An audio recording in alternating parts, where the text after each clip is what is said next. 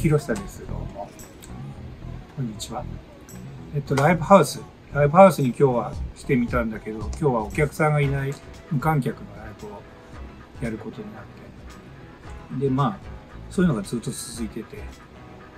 まあ、いつかみんなが来てできるようになればいいかなっていうふうに思ってます。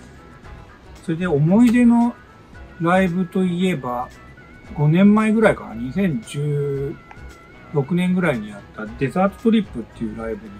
行きまして、カリフォルニアのね、砂漠かなんかでやったんだけどね、これが本当にすごいライブで、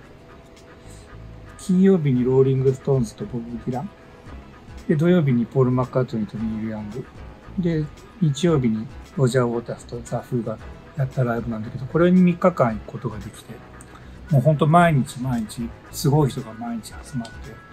て、で、すごいもう本当に一生懸命かっこいいライブを見せてくれて、もう一回これを見れたから、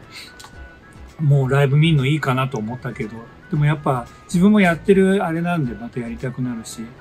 また見たいなっていうふうにも思うし、本当だからなんか、そういうふうになんか集まれる場所にまたなったらいいかなと思ってます。またライブに遊びに来れたら、あの、ああの、ライブに遊びに来てください。